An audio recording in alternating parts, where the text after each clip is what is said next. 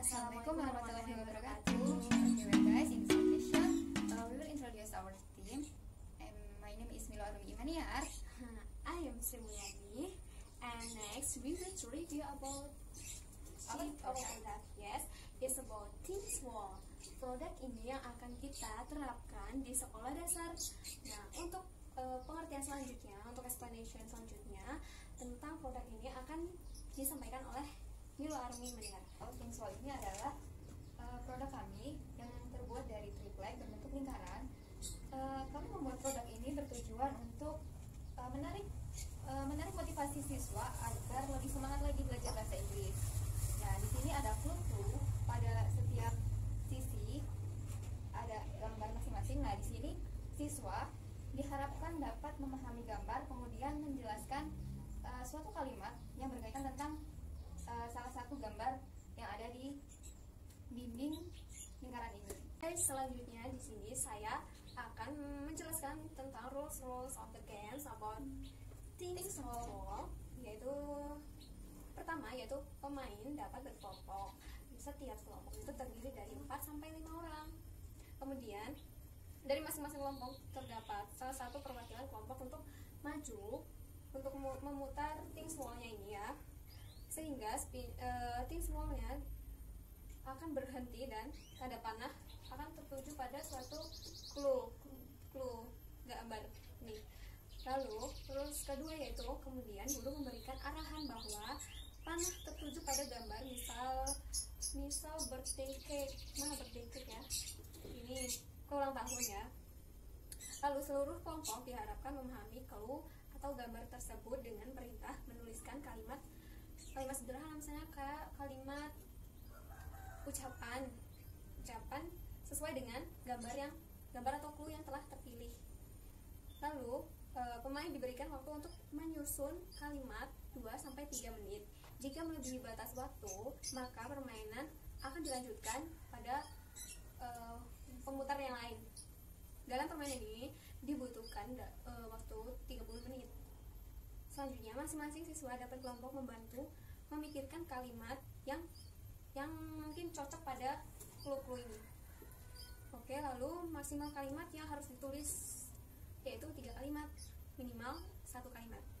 Dan dan ini eh, akan diulang-ulang oleh kelompok yang lainnya.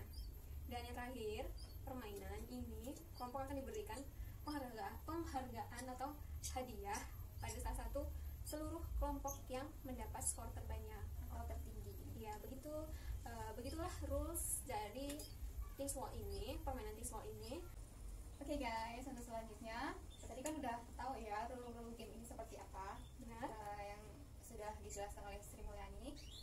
Oke langsung saja saya akan mencoba untuk memper- untuk memainkan game ini. Uh, saya akan memutar uh, things wall ini, kemudian Sri Mulyani akan mencoba menjawab clue-clue yang terpilih Nah, clue yang uh, clue yang terpilih pada jarum ini. Langsung saja saya akan mencoba untuk memutar uh, things wall ini. Oke, kira-kira akan berhenti di mana? Nah, di kue ulang tahun. Coba Sri Mulyani uh, berikan contoh kalimat greetingnya seperti apa? Eh, untuk clue tersebut dari saya yang misal sebagai salah satu siswa SD ya eh, untuk gambarnya yaitu clue-nya gambar kue ulang tahun bagaimana sih cara mengucapkan eh, di acara ulang tahun ini ini kodenya ya. Eh, berarti saya mengucapkan selamat ulang tahun semoga panjang umur dan lain sebagainya.